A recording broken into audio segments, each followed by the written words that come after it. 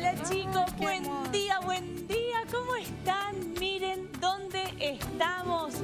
Acá todo el equipo preparado, todos atentos, mirando porque en cualquier momento salta la ballena, la ballena Sería franca tremendo, ¿no? austral. Estamos esperando todos.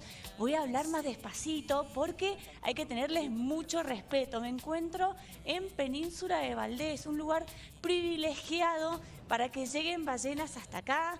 Estamos aproximadamente unos 95 kilómetros de Puerto Pirámide. Nos embarcamos hace un ratito y nos comentaron que si miramos para allá vamos a ver a las ballenas saltar. La estamos esperando. Ay, por ¿Saben? favor, que pase Hicieron en vivo. un censo hace Ay, muy sí. poquito.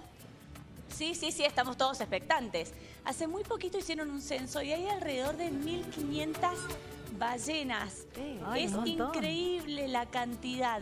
Ahí, Ahí está, hay una, ¿la, ahí la pudieron ver? Sí, la vi, la vi, la vi, la vi, la vi. Ahí, delante, Qué bonito. sí, sí, sí, delante de esa embarcación. Ajá, ahí está. Eh, la tengo a, a Melisa Pérez, que ella es guía ballenera, para que nos explique más acerca de este fenómeno, por qué es tan especial y por qué lo podemos ver acá. Es una, un avistaje modelo en el mundo. ¿Cómo estás, Meli? Hola, ¿cómo va? Melina soy igual. Ah, Melina, perdón, claro, fue Meli y dije, bueno, Melisa, Melina, perdón, contame por qué es tan importante este lugar para las ballenas. Mira, ahí está, acá. Las ballenas deciden venir acá porque hay ciertas condiciones del lugar que lo hacen especial para tener a sus bebés. Las aguas de los golfos son más tranquilas que mar abierto, no hay grandes olas porque son golfos y también hay reparo de los acantilados, de los altos acantilados. Entonces deciden venir acá para garantizarse la supervivencia de sus crías principalmente. Ahora, es un- una experiencia maravillosa porque estamos viendo animales en su hábitat natural, felices, están libres acá y disfrutando de su lugar. Así es, sí, sí, es espontáneamente, es puro. Acá vemos, nos aproximamos despacito, vamos viendo si ellas tienen ganas de interactuar. Si vemos un cambio rotundo en su comportamiento, las respetamos, las dejamos. La idea es que nosotros cuando nos salgamos de acá, salgamos del agua y las dejemos, ellas sigan haciendo lo que estaban haciendo, como si nuestra presencia no modificara nada, ¿no? Muchas gracias, Meli. Chicos, ¿pudieron observar Sí, cómo sí. aparece? Ahí está, Ahí ahí está. Maravilloso. De a poquito se va es asomando. tan emocionante. Que salude, que salude para la Se tele. va asomando de a poquito. Ella hay que ver si quiere sociabilizar con nosotros. No es que la embarcación sale a perseguir las ballenas. Cuando Claro. estamos a 50 metros ya se apaga el motor para que el sonido no las perturbe. Qué Y a nosotros nos piden que nos zapateemos para que no molesten también abajo, porque por ahí también te pueden pasar por abajo del barco.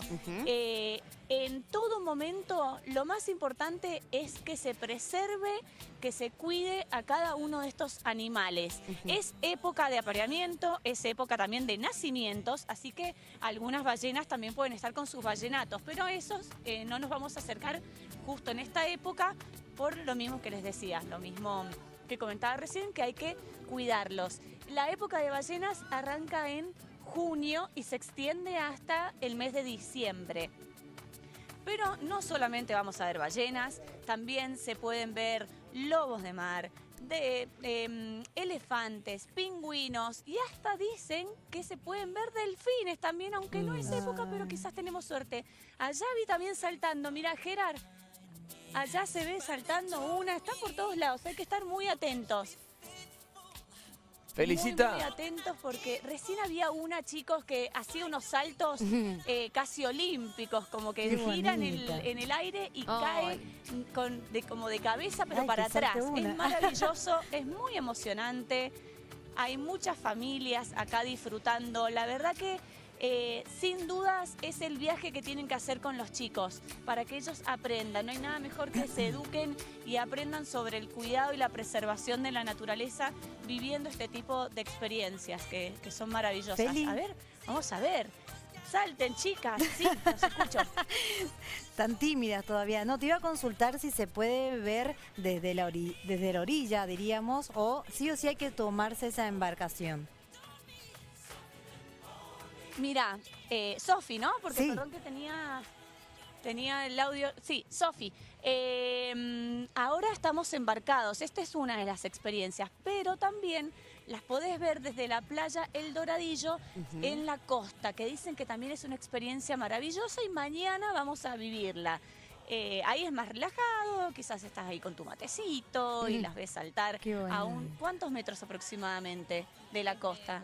A 10 metros aproximadamente de la cerca. Pero estar acá en una embarcación y, y- y tener la posibilidad de que se te acerquen y tenerla cerquita acá eh, es la verdad algo, algo Mm. único. Esta experiencia tiene un costo de eh, 125 mil pesos para los adultos y la mitad para los menores.